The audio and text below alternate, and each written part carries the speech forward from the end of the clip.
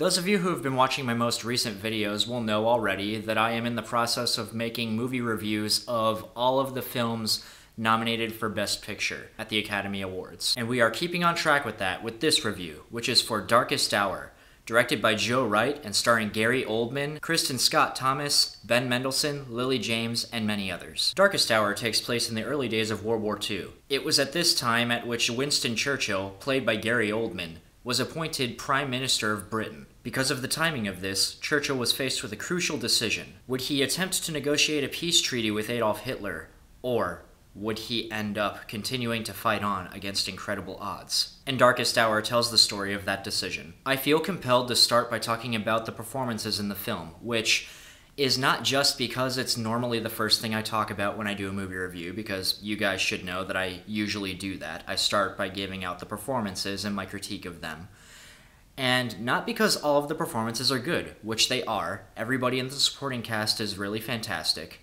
but Gary Oldman, holy shit. Gary Oldman was nominated for Best Actor in a Leading Role at the Oscars.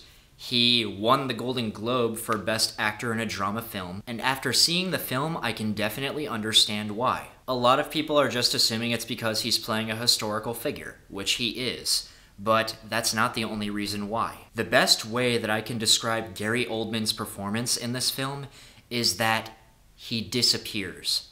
Not just physically, not just because he's caked with makeup, which, by the way, I will just throw this out there the makeup job on him in this film is fantastic. This isn't like in J. Edgar, where it's so obviously makeup that you can actually see the lines where the makeup ends and the actor's real face begins, or where it looks like it just is liverwurst taped to the actor's face. The makeup on Gary Oldman really makes him look like Winston Churchill. It's not just a prosthetic performance, which it is partially a prosthetic performance because they had to make him up to look like Winston Churchill.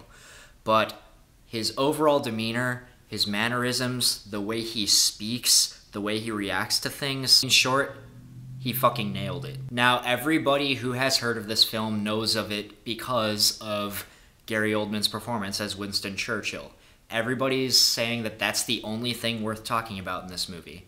And while I would say it is the film's strongest asset, I would not say the rest of the film is bad there are definitely really good things about the rest of the film as well. For example, the cinematography and editing are both fantastic. There are some really great shot compositions and really cool ways in which some of the shots are put together. And while in some cases I would say they are a little bit flashy, they don't detract from what the film is trying to say. And the story is good too, in part because it follows the storyline that a lot of people like. It's about a guy who is facing against incredible odds and a lot of people are not in his corner because they think of him as somebody who's not going to do a good job in making that decision that he needs to make. And along with this comes some really great dialogue. And there were some scenes, particularly scenes toward the end, and I'm not going to give away what happens, but there are some scenes toward the end that are really a joy to watch. Now, I will admit the film is not perfect.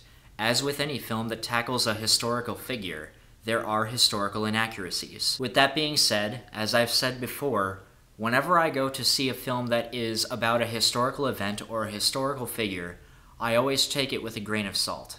I always know that there are going to be some liberties taken with history to make more dramatic elements. But there is a line that I usually draw in the sand where I say, is this film actually following history fairly closely enough to where it's still enjoyable and to where it's not distracting? Or is it so wildly off historical track that you're like, bullshit that never happened and I can't pay attention now. Darkest Hour is definitely on the side of actually being close enough to history to where it's not distracting. And another thing that I will readily admit about the film is that even though there are some really good scenes, and even though the performance by Gary Oldman is fantastic and a joy to watch for anybody who enjoys good acting, there are some very slow moments in the story, and I can't really see myself watching this film a lot. While I would say that you should watch it at least once, I don't think I would expect a lot of people to watch it over and over again. And another thing that I have to say about this film is that it does a very good job with a particular thing that is related to another film, actually. If you know about the film Darkest Hour, you probably already know about the film Dunkirk. And Dunkirk was about the evacuation of a bunch of soldiers from Dunkirk, and one of the big decisions that Churchill has to make in Darkest Hour has to do with that very evacuation. I am planning on doing a review of Dunkirk next,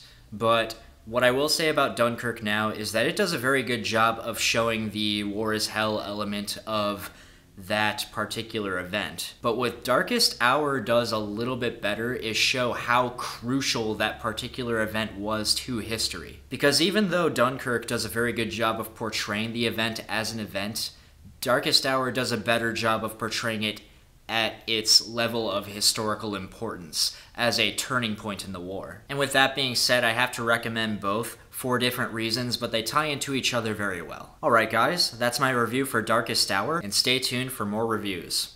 Have a good night everybody.